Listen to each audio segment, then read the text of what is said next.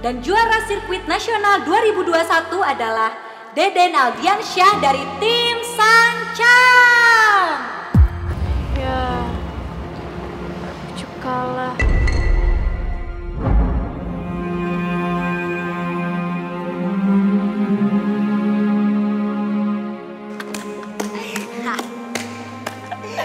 Deva, lu lihat tuh juara lu. Kalah telak dari lawannya. Ya lu dari mana sih? Mamam tuh juara Sirnas. Tapi lu lihat aja pertandingannya tadi. Skillnya Ucup memang bagus kok. Cuman sayang aja di set kedua dan ketiga konsentrasinya tuh kepecah. Oh, sorry. Untung aja Ucup kalah. Coba kalau menang, bisa malu kita. Masa Ucup menang anak kita kalah? Mau taruh di mana muka papi?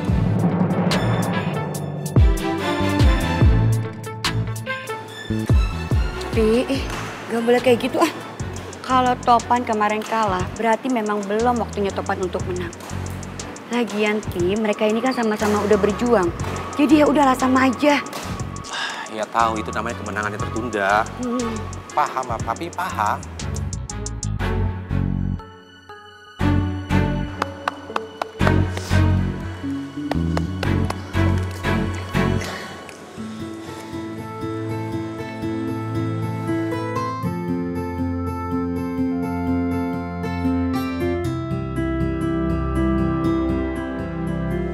It's okay, Cup.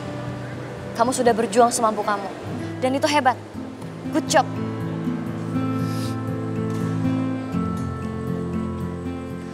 Saya percaya, ketika kamu mampu meraih sesuatu, kamu tidak akan menjadi sombong sehingga tinggi hati menyundul sampai ke langit. Dan ketika kamu jatuh, kamu nggak akan menjadi debu. Tetap semangat, Cuk. Kamu kuat. Kamu hebat. Masih banyak pertandingan lain yang akan kamu menangkan di lain waktu.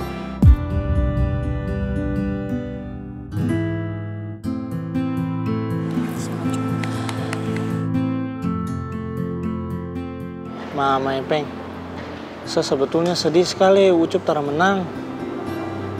Tapi saya yakin, pasti Ucup orang yang paling sedih di sini, Peng. Ya, namanya juga permainan, Be. Pasti ada menang, ada kalah, Be.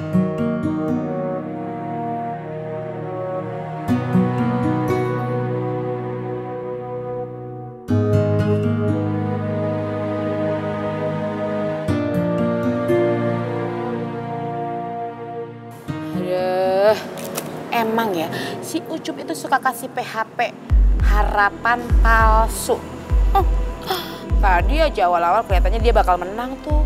Eh, terakhir-terakhirnya malah jadi kalah. Malu-maluin aja deh.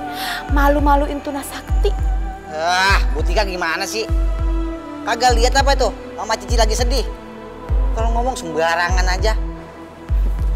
Pak Toyo gimana sih? Emang omongan saya ada yang salah? Enggak kan? Ya kagak. Biar cepet rapi, kelar.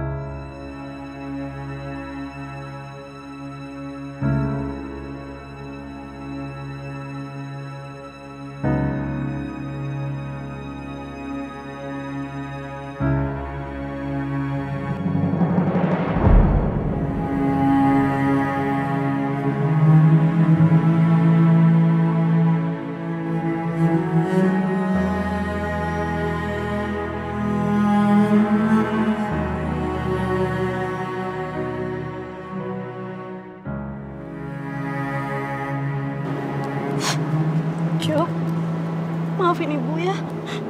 Maafin ibu ya nak ya. Tadi Ucup teh kalah. Pasti karena Ucup kepikiran masalah bapak dan ibu kan. Cup, kalau ibu tahu akan begini, ibu akan menahan diri untuk gak cerita sama Ucup. Ibu, ibu udah jangan nangis.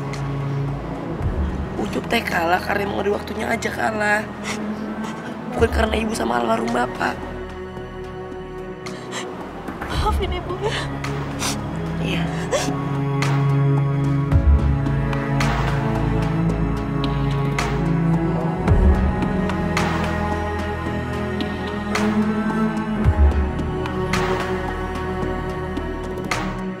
Oh, gak udah jauh-jauh tempat perawatannya tutup. Kira-kira Bang Jaya nih, ajak makan mie ayam dulu. Satu lagi, Din. Nih, nih, nih, nih. Ah, mentang-mentang lagi promo, makanya pakai dua porsi. Kan itu tuh, beli tiga gratis satu. Satu, dua, tiga. Ini gratisnya dong. Uh. Lama-lama bangkrut kita. Iya nih bener Bang Didin enak kan. Eh, eh Mbak Rani, Mbak Rani. Lagi promo nih Didin. Udah tadi sama Bang Jaya. Mbak Rani, ngomong-ngomong udah tahu nggak?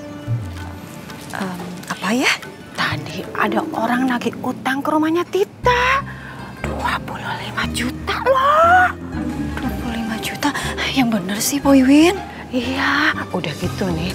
Si Tita minta Bang Jaya ngelunasin utangnya. Kasian sih sama Bang Jaya. Dia kan udah banting tulang, capek-capek. Jadi driver taksi online. Eh, disuruh ngelunasin utangnya si Tita. Ah, Tega banget ya si Tita. Eh, Po Wiwin salah denger kali. Beneran, sumpah. Ibu-ibu ini aja pada denger kok. Ya kan, Bu? Iya, iya bener bener. Hmm, kita denger kok. Eh ya udah, kalau gitu Rani pulang dulu ya. Iya dah. Hampir jatuh. Carlota kok ngana.